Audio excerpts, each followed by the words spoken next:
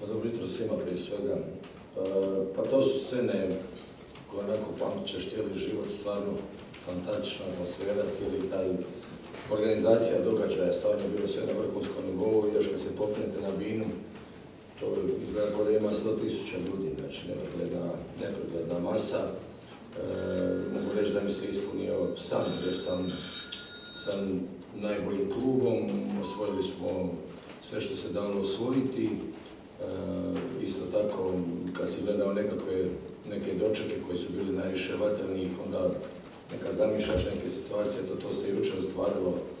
Ovaj, čak se ne sjećam ni šta sam pričao, znam samo koju sam pjesmu poveo.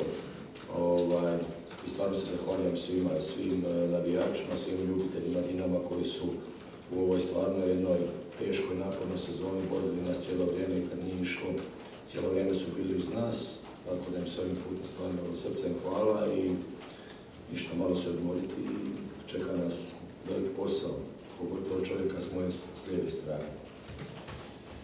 Kad smo kod čovjeka. To proživjeti odmah me podsjeti na Hrvoja Tironi.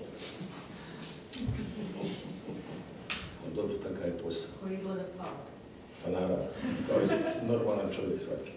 E, pa zahvaljujem se na povjerenju. Ja moram reći da ja nikada nisam, e, od kad sam došao u Dinamo, osjetio nepovjerenje, da je uvijek bio mir e, i, i vjera u ovu momčad. Naravno da, da imate usporne padova, da je, to je nogomet, ali kao što sam prije govorio, što se tiče KNL-a, znao sam da je to maraton i što se bude približavao kraj, da će, da će biti sve veći pritisak na ekipe koje su nas, koje smo mi vodili. E, isto tako,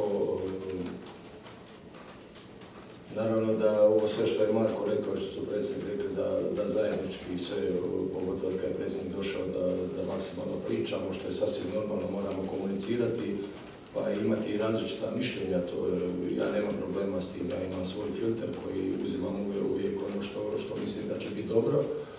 Tako da trebamo gledati naprijed i imamo dosta prostora, bitno je da, da planski, a već smo počeli na tome, ovaj, napravimo dobre poteze za, za iduću sezonu, već znamo otprilike što nam treba, gdje bi, se pojačavali i naravno uz postojeći kadar ima, ima nas dosta, tako da vjerovat će neki otići, tako da ćemo ovaj, još jednom sjesti i razmisliti, ja i Marko smo u svakodnevnoj komunikaciji, što je sasvim normalno, otprilike ove zna šta nam treba, tako da i ako i dogovori neko igrača zna, zna da će nam ovaj pomoći. Tako da, kažem, gledamo prema naprijed, ovo sve do sad je, mislim, ja kao trener znam uvijek šta mi je činiti, šta se očekuje od mene, pogotovo u klubu poput Dinama, znaju se koji su ciljevi i jednostavno treba isporučiti rezultat i to je jedino mjerilo. Naravno, ima nekad i, i dojma od igre i svega, ali danas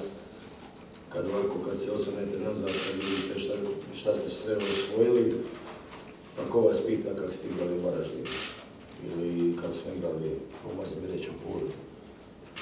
Bitno su tri boda, naravno da mi unutar, unutar stožera analiziraš svaku, svaku akciju, svaku sekvencu i naravno da ima tu puno prostora za napredak. Ja se nadam da će to u idućoj sezoni biti još, još bolje.